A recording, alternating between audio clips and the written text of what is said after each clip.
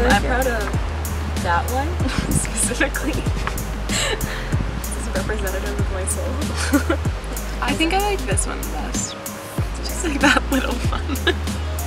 Basically, freshman year, um, I got a watercolor set from one of my friends for Christmas.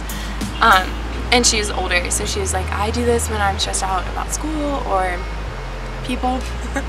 but I guess maybe now, like, you'll do this for stress relief. I think I might be one of those people who gets more stressed by it. but it's like the like you said, the actual act is like really fun. Like I don't necessarily like my final product. Like this is a lot, but like I think the most fun for me was just like doing all these little squiggles all over it. The party. But yeah, the party, the confetti. I don't know, it was really fun. I enjoyed like that you shared it with me.